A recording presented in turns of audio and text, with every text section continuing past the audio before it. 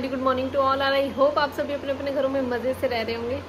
Finally आप देख सकते हैं हमारा एसी का पूरा काम कंप्लीट हो चुका है। ये बहुत ही नीट एंड क्लीन तरीके से कर दिया है उन्होंने, और ये दोबारा उन्होंने तोड़ के, क्योंकि मैंने इसे कवर कर दिया था, उन्होंने तोड़ के दोबारा से इसे फिल किया है, और उसकी वीडियो भी मैं इसमें थोड़ी सी डाल दूँगी, क्योंकि इसमें चूहा दोबारा घुस चुका था, उसे बड़ी मुश्किल से निकाला गया, और उसके बाद ये सारा काम दोबारा से प्रॉपर हुआ है। तो अब फाइनली मैं कह सकती हूँ कि कम्प्लीटली हमारा एसी लग चुका है। तो एसी का ये छेद तो हमने दिखाई रखा था तो इसकी बदौलत चूहा इसमें घुस चुका है और पूछ से आइडिया लगा लो कि कितना बड़ा और मोटा चूहा हो सकता है और अभी से निकालेंगे हमारे शेर सिंह। तुम्हें निकालोगे? मैं कैसे उठा दू?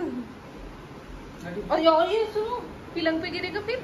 फ़िल्म पर गिरेगा ही भरेगा फ़िल्म और तो ये गंदा होगा। ये बड़ कहाँ से गया? यहाँ से बड़ा है?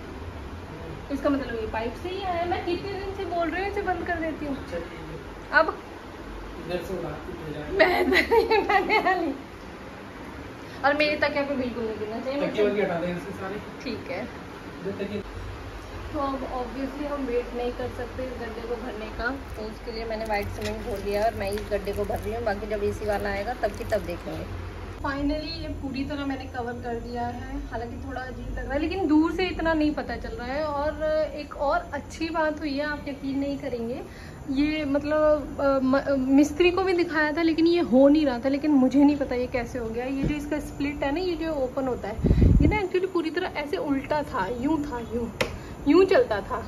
मतलब इस तरह से चलता था उल्टा तो इसकी पूरी हवा हमारे पैर पे लगती थी। पर मुझे नहीं पता ये कैसे अपने आप मतलब अपने आप ये ठीक हो गया है और अभी इसकी हवा प्रॉपर बेड पे लग रही है, वरना इसकी हवा बेड से बाहर जाती थी। तो ये चूहे का चमत्कार है या किसी और चीज़ का, ये नहीं पता, लेकिन हमारा काम बन गया।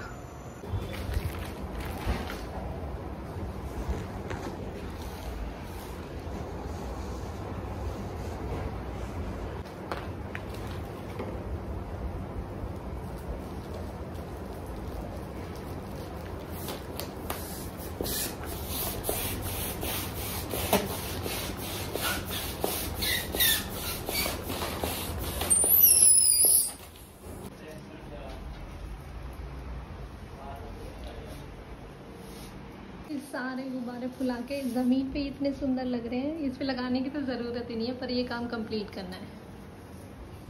तो इस तरह से कुछ तैयारी चल रही है और बाकी सामान अभी आने वाला है। ओके। तो फ़िलहाल इतना काम हो चुका है और जो चेंज है वो दिखाई दे रहा है। बाकी काम और करना है। और ये फाइनल लुक दिखाने की। और फाइनल लुक है ये।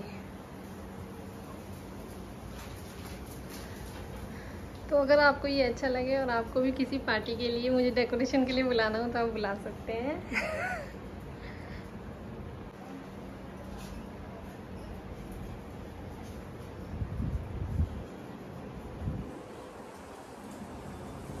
प्लीज़ कमेंट में लिख के ज़रूर बताएँ आपको डेकोरेशन कैसी लगी।